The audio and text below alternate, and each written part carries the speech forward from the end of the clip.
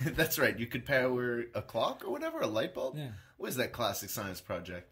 Light bulb A to a radio potato? or something? A radio? Like knows? a like a car? Probably power my, my yogurt clock. Oh yeah, yeah. Um, oh man. uh, but yeah, I mean, potatoes. They're fascinating creatures. I, I think of them as living, living because they are living. suppose they are like a Uh, tree. and they have eyes. And uh, you know, in the, the classic. Goosebumps episode uh, and book, uh, it came from beneath the sink. The ending of that. Spoilers. Uh, there was a potato with uh, some horribly gnarled teeth. Uh, Oh. And that was a that was a creature, and I believe that's a that's that's fact. That is fact. R.L. Stine took that from fact. That There was a potato with teeth living underneath the sink. Potato monsters, yeah. Sounds like R.L. Stine uh, just forgot they had potatoes under the sink for a while and was like, "Oh, that's another book. All I got to come up with now is a couple of red herrings and an ending."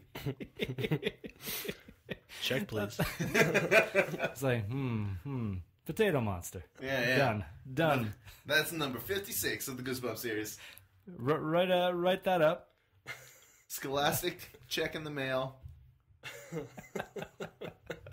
I mean, yeah, some of those books were a little, a little weak, but uh, I felt like I only jumped aboard the Goosebumps uh, bandwagon once they had gone past their, they were past their prime. when they started doing the, the choose your own adventures, that's when I was, I was not happy with them because I'm like, no, I want you to tell me what adventure. Just tell me the story happen, that's yeah. good. Don't don't let me make some bad decisions. I'm a child.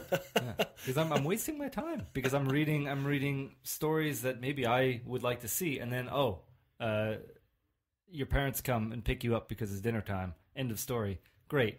Now I have to backtrack. And That's true. That's true. In in a Goosebumps uh, Choose Your Own Adventure, I would often because you're reading the book and you know that they're going to make some irrational decisions that lead to where you ultimately lead in the story. But I would be like, well, no, don't do that. That's crazy. That's what's going to get you in trouble. Do the simple, the safe thing, and then No you know, the, and then you flip to page ninety-eight, and that's the last page of the story, and you go, okay, well, I just read a twelve-page story. Why did I buy a eight-dollar book for a twelve-page story? Let's go read the other options now. it's like, it's like going down a maze and finding dead ends and going, well, it's time to backtrack. You got to keep going back and going down different paths. I feel like you should just rip all the pages out, put them, put them on like a board in your in your basement. Draw, you know, put strings from one to another, and just Well, you would need you would need even two copies of the book to do that. Ah, double sided. Double-sided yeah. pages. Jesus. All right. It's getting expensive. Where does Wow. it end? Not. Where does it end? All right, Matthew. Let's let's get to your real thoughts on the burger itself. You ate it. You seemed pretty concerned about the size of it. Not a big fan of Susie Q fries. Uh, uh, uh, you for some reason don't like the depth of the restaurant. When when it comes down to the burger, and you got to rate that burger, what are you thinking? Well, am I rating the burger right now, or am I thinking about the criteria that will will affect the rating? You know, I feel like it's been a while since you guys have explained the rating system. I think that's a good if you have point. any new that's a good listeners. point, Alex. Um, so, uh, our rating system, because even while we were eating, Alex is a regular listener, and he was thinking uh, he was going to use a five star scale.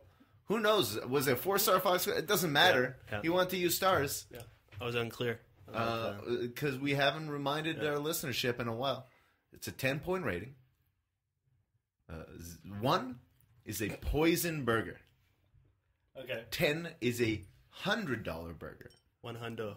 One hundo. So it's worth a hundred dollars? No, Oh, It's a burger that to you is valued at hundred dollars. Not a real, not that you, not that you shell out hundred dollars, but when you eat it, you know, like when you feel like a million bucks, it's the burger equivalent of that. This burger tastes like a hundred bucks.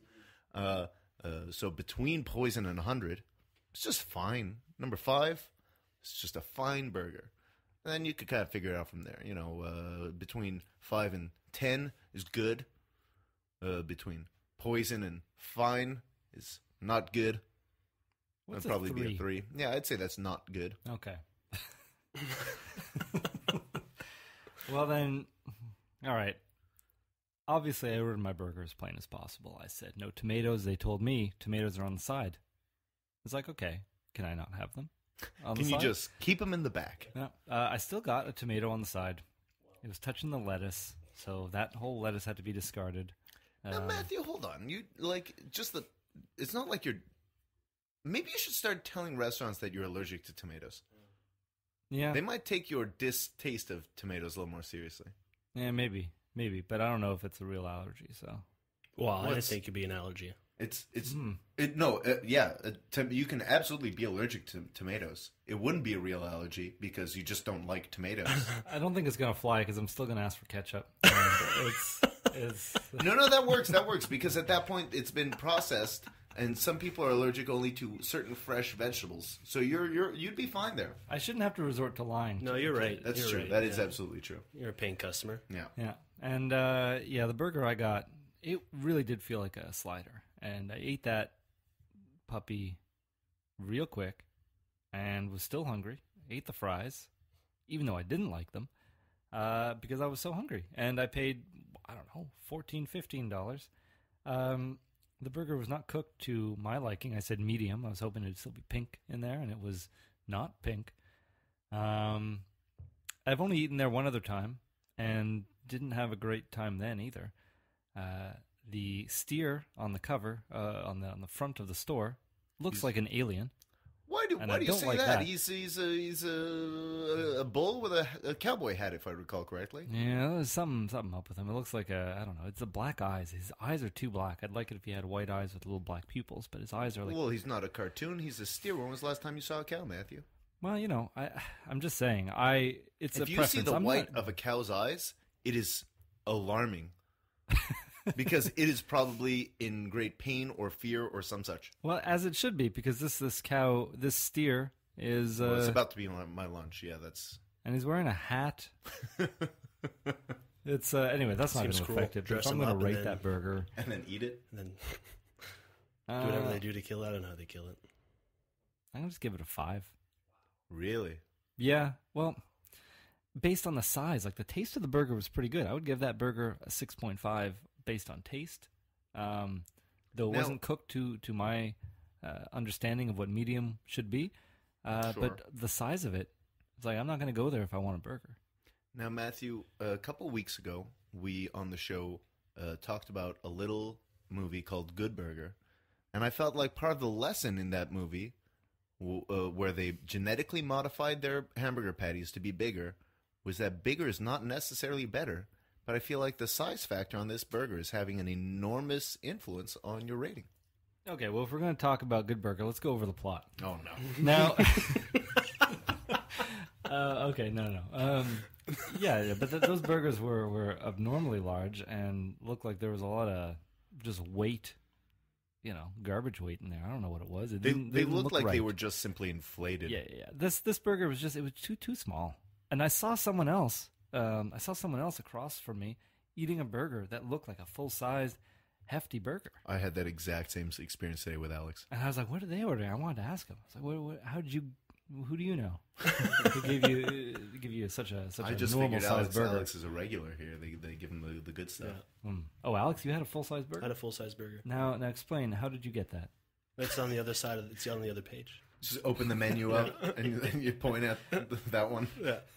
There's a page with the small burgers, and then there's a page with the regular size burgers. Well, you know, experience, I guess, would would help. help Yeah, maybe that's that's out. part of it. Yeah. Um. So Alex, uh, you know, a veteran of Mr. Steer, uh, had a full size burger. What did you think of your burger today? Now, tasty burger. I like the taste of the meat. I like uh, I like those prepared patties like that. I don't like those frozen patties. Um, to me, that's just a waste of money. I go somewhere, I get a burger with some of those frozen patties. So right away, it's you're starting off with a good score for being a real patty, like Absolutely. a meatball type of patty. Um, I don't know if this is fair to factor factor this in. Well, first off, the wait was longer than I expected for a burger. Um, not that I was in a rush. I guess we were a bit of a rush, but that's, you know, You know, just I mean, still felt even if we weren't in a rush, felt like a bit longer of a wait than it needed. usually for a burger, burger in in my books is considered fast food. yeah. I know it's a sit down restaurant and what have you, but it's still just a burger. It's not a complicated thing to prepare. No, What's the wait? it seems like they're un- unprepared. You know, It wasn't that busy in there. nope. And it's a huge And place. it's You think they'd be lunchtime, ready? yeah, Yeah. Um, and I feel like again, this is the part I'm not sure is fair or not, but I feel like I always forget how expensive it is. Get my bill, and it's like, whoa, I thought I just had a burger. I had two coffees and a burger. What, what is this? And fries and you know, Yeah. lettuce. Um, so I like how you called your salad lettuce because that's basically what that's it was. all it was: Yeah. lettuce and, and French dressing, carrots, yeah. and French dressing. Um, service was whatever. had nothing against her, but it wasn't like a great experience. Like wasn't like a remarkable experience. Um, we, we got, you didn't. Yeah, you gave your rating. Okay. Yeah, yeah. So, um, ah, I don't know. I don't know. I feel like a, I'd be cheating, Mr. Steer, if I went lower than an eight. I feel like if we had done this a few weeks ago, maybe a few months ago, I would have given it a 9 Mhm. Um, but not. you know. Considering that a nine is just shy of a hundred dollar burger, do you feel that strongly about Mr. Steerberger? Well, listen, it was twenty bucks. That's one one fifth of the way to tw- being a hundred dollars. Okay. Yeah. that way. I mean, Pricey burger. sure. So that would give it a two. That would. Mathematically speaking, yeah. No, you're right. You're right there. Uh, that's just math. Um. Yeah, I mean, just compared to other burgers in the city, I feel like it's a tasty patty, and that goes a long way for me. The quality of the patty. Uh, now that I think of it, the bread, I don't even remember what the bread was like. The bun was like. Um, you, I did notice I had a, a, a plainer bun for my smaller burger, but you had a you had a sesame seed. Did bun. I? Yeah. see, didn't notice that at all, so it wasn't wasn't a remarkable bun either. I think I'm gonna give it a seven point five. Impressive, impressive. I I would like one day to maybe take home one of those meatballs. Uh, they say you can take home and cook at your leisure. Uh, Oh, really? You can order just the the the, the patty to be eaten uh, at home. That's interesting. Well, they're actually advertising them as meatballs. Uh, Oh, the really? meat- and I'm thinking I can just slap some meatballs together. I got a burger. Well, no. um, I mean, they they No, I know. they I have know. a special preparation But to I want to. I want to see what it's like if I cook it. Maybe that'll be a little side project. Oh, I've got an idea for an episode now where uh, we can maybe have a, a burger off of uh, pre-purchased uh, burger patties Oh, yeah, yeah, yeah. of Yeah, uh, got of a certain locations. quality. Yeah. Yeah. um. So I was sitting there. I finished my burger. Alex was still working on his normal sized burger, and I was leaning back thinking, "How am I going to score this burger?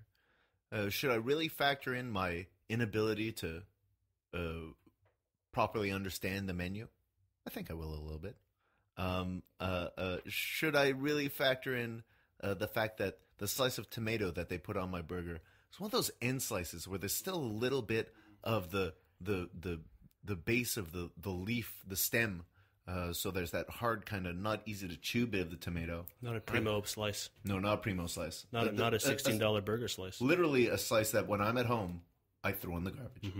Um, a garbage slice. And so, and so, um, when I did bite into that burger, I was impressed by the thickness of the patty, even though it's a small burger. I was impressed by the flavor of the meat. It was really good. The bacon, it was uh, cooked to perfection. Really nice piece of bacon. Um, but other than that, not a very notable burger. I feel like this is a, an ideal candidate for a burger to buy the patty and take it home and make it yourself and do a better job.